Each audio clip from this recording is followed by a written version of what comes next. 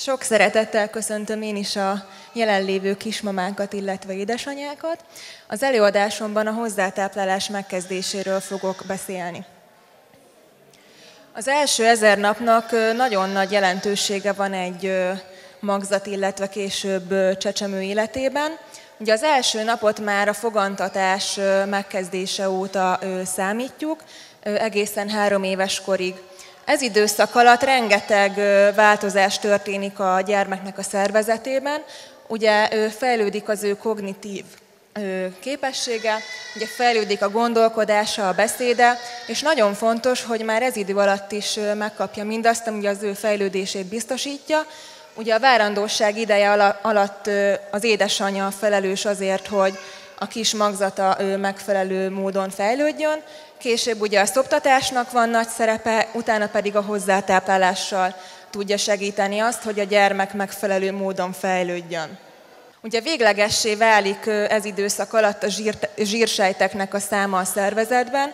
Ugye ez alatt azt értem, hogyha egy kisgyermek már gyermekkora óta esetleg plusz súlyfelesleggel küzd, annak nagy valószínűséggel felnőtt korában is problémája lesz a súlyával, tehát érdemes mindenképpen megelőzni az elhízást. És természetesen ugye egészséges felnőtt csak egészséges gyermekből lehet. Kizárólagos anyateljes táplálás esetén a hozzátáplálást 6 hónapos kortól kezdjük el. Orvosi, illetve védőnői javaslatra történhet előbb is a hozzátáplálás. Hat hónapos kor után az a tapasztalat, hogy az anyatej már nem elegendő a gyermeknek a fejlődéséhez, tehát be kell vezetnünk új táplálékokat az ő étrendjébe. 6 és 12 hónapos kor között is természetesen szükség van még, ha van anyatej, akkor arra, illetve tápszerre a baba megfelelő fejlődéséhez és ugye egy éves kor után már akár négy-öt alkalommal is kiegészítő táplálásra van szükség ahhoz, hogy a gyermek megfelelően fejlődhessen. Ugye a hozzátáplálás elkezdésének a feltétele ideális esetben ugye a, a, a csecsemő elmúlt hat hónapos, és azt vesszük rajta észre, hogy gyakrabban szeretne szopni, gyakrabban megéhezik, esetleg a súlyfejlődése stagnál, vagy esetleg csökken. Ugye ezek a jelek mind arra utalnak, hogy az anyatej már kevés az ő fejlődéséhez, és be kell vezetnünk új táplálékokat az ő étrendjébe.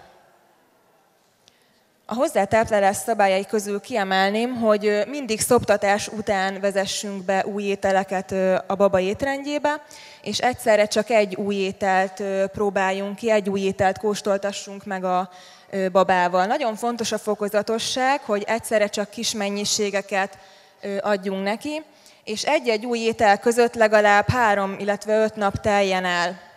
És figyelni kell természetesen a túlérzékenységnek a jeleire is, hogy a baba szervezete hogyan reagál egy-egy új ételre. Ilyen túlérzékenység lehet akár a hasmenés vagy a bőrkiütés. Ilyen esetben hagyjuk abba annak a tápláléknak a etetését, és később újra megpróbálhatjuk, mert nem biztos, hogy az okozta a problémát, de oda kell figyelni ezekre a jelekre. Ugye egy-egy új táplálék bevezetése az egy-két hétig tart, és az új táplálékot mindig a szoptatás után kóstoltassuk meg a babával, lehetőség szerint a délelőtti órákban. És két, illetve négy hét közötti az az időszak, ami ugye kiválthat, egy étkezés kiválthat egy szoptatást. Kezdetben pépes, majd pedig, amikor már van a gyermeknek foga, akkor hagyhatunk darabokat is az ételben, ugye ezzel is rászoktatva őt arra, hogy megtanuljon rágni. Erőltetni viszont nem szabad, tehát minden babának lehet olyan táplálék, ami esetleg nem ízlik neki, vagy nem szívesen fogyasztja, akkor ezt nem szabad erőltetni. Utoljára mindig a reggel, illetve az esti szoptatást hagyjuk el, mert ennek van a legnagyobb pszichés hatása a gyermekek életében. Ugye minden olyan tápanyagot vagy táplálékot, ami nem anyatej, illetve nem tápszer, azt szolidnak nevezzük. Nagyon fontos, hogy betartsuk az egy-egy szolidok bevezetésének a sorrendjét, mert ezzel megelőzhetünk később különböző betegségeket, mint például a lisztérzékenység, illetve a tehéntáj fehérje allergia. Az a tapasztalat, hogy ha 4 és 6 hónapos kor között bevezetjük a glutént a csecsemők életében, akkor ez lecsökkenti később ugye a cöliákiának a kialakulásának a kockázatát, illetve tehéntejet sem adunk egy éves kor alatt a babáknak. A gyümölcsök bevezetésénél először lé, majd pedig később pép formájában kínáljuk a babának az új ételeket, és kiemelném, hogy a csecsemők étkeztetésében nem használunk hozzáadott cukrot, tehát én nem javaslom, hogy cukrozzuk akár a gyümölcslevet, vagy a gyümölcsös ételeket, hogy a baba elsősorban mindig a gyümölcsnek a saját ízét szokja meg, és ne az édes ízhez szokjon hozzá.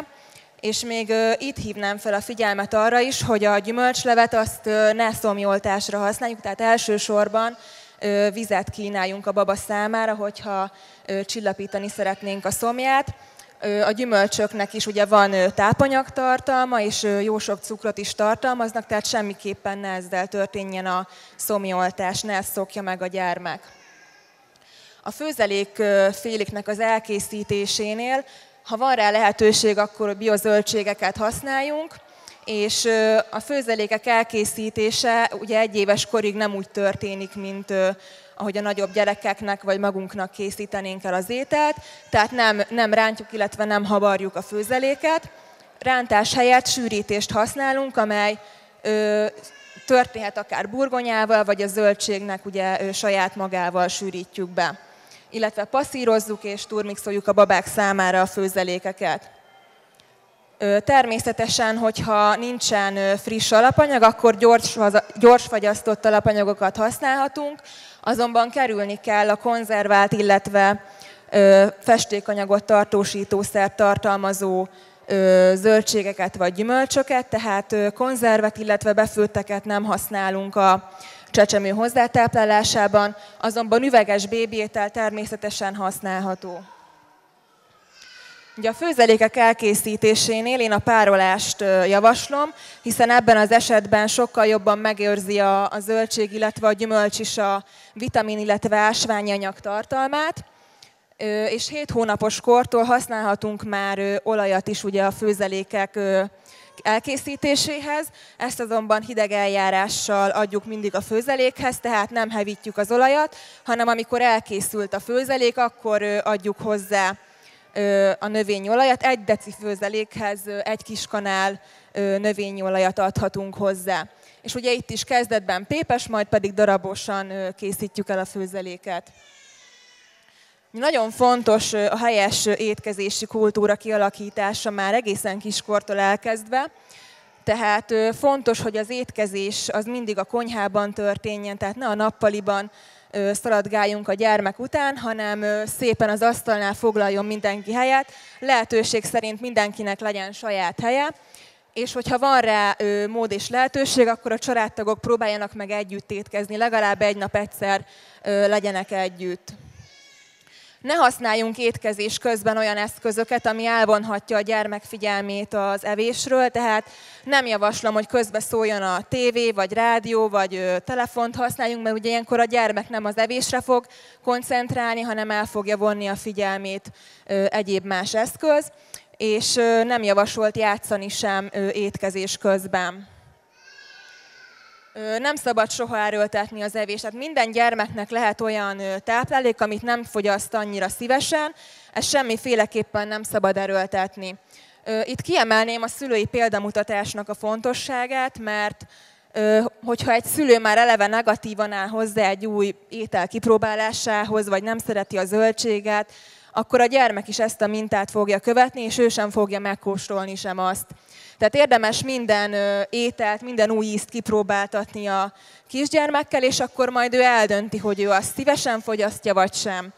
És válogatós gyermekek esetében pedig felhívnám itt a figyelmet a tálalásnak a fontosságára, mert hogyha egy olyan étel esetleg, amit ő kevésbé szeret, de mégis ötletesen, kreatív módon van feltálalva, akkor valószínű, hogy szívesebben el is fogja fogyasztani, tehát ilyen kis trükkökkel meg lehet vele szeretetni még akár azt a zöldséget vagy gyümölcsöt is, amit nem szívesen fogyasztott ez idáig. Köszönöm szépen a figyelmet!